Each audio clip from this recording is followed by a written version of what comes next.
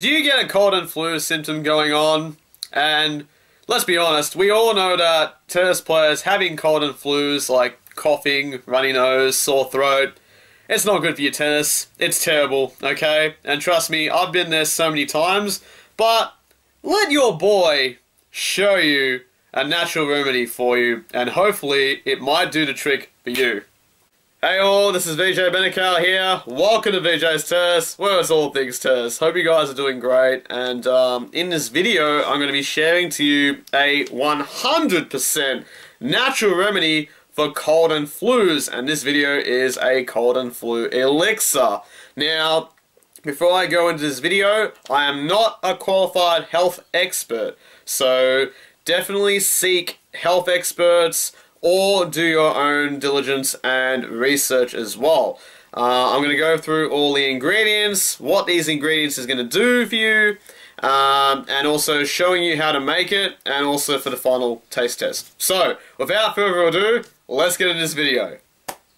Okay, so now I'm going to go through six ingredients, and I will go through each of the six ingredients, its measurements as well too. Um, so the first ingredient is water, um, and you will need to boil it. And it, you should try and get filtered water, but if you can't, that's okay. Just do whatever you, you can do best. Uh, the second ingredient is lemon. The third ingredient is honey. Uh, I would recommend getting raw or manuka if possible. The fourth ingredient is olive oil. Now, I will explain why olive oil, but trust me, don't turn away from this video because olive oil is absolute bomb. Um, I will explain why in a moment. And then the fifth ingredient is cinnamon powder, and the last ingredient is ginger powder. Uh, now, with those spices, those two spices, make sure you can get 100% spice. Um, everything you should have in this uh, remedy is 100%. There should be no artificial stuff in it whatsoever. Now we'll go through the measurements.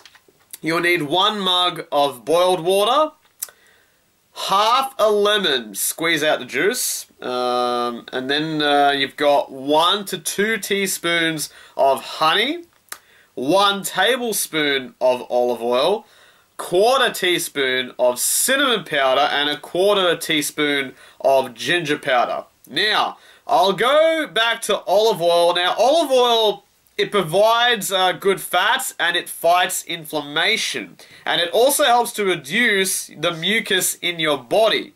Um, also, uh, all these ingredients that is mentioned, like I said, it provides antioxidants, good fats, and vitamin C.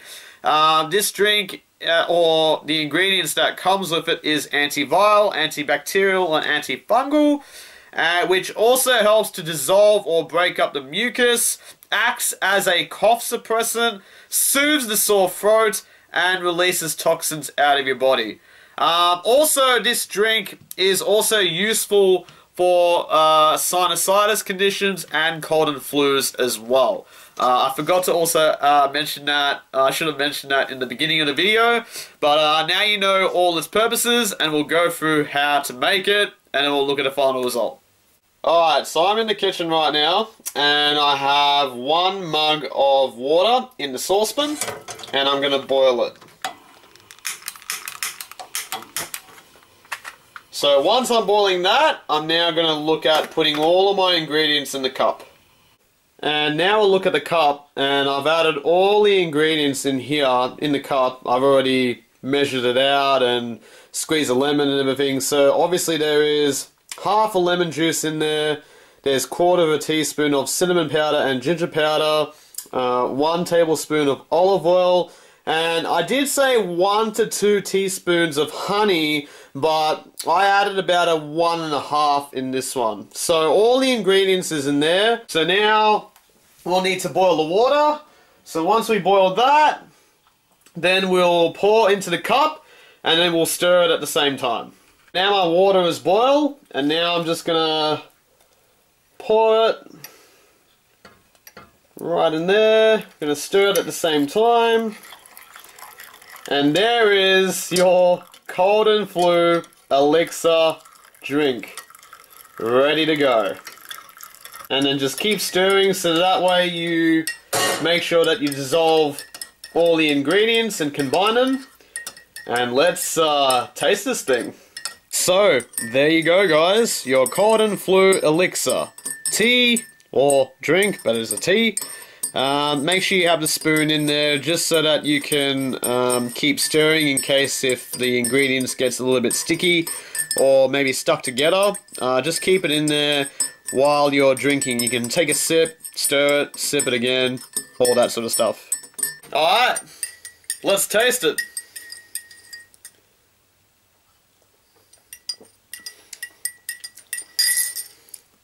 Really good. And you'll definitely feel a hit when you drink this thing, because obviously with the spices, it sort of does that sort of sensation to you. Um, but yeah, totally recommend it, guys. Um, even I can feel the nasal passages just opening up uh, drinking this. I always feel that sensation all the time. I don't know why. You may not feel that. You may feel that. I can't guarantee it, but this is really, really good. I'd recommend you to drink this at least half an hour before you eat breakfast or have it on an empty stomach. Um, I think having it on an empty stomach first thing in the morning will be the best uh, option.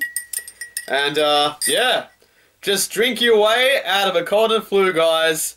Hope you enjoyed this video. Smash that like button, leave a comment down below, and let me know if you have tried this thing. Um, I hope this does wonders for you, and for all tennis players and athletes, you really do not want to have a cold and flu symptom going on, but if you do, this is the one for you. Anyway, take care. I'm going to have a date with this special lady over here, and I'll see you in the next video. Take care, peace out, have a good one.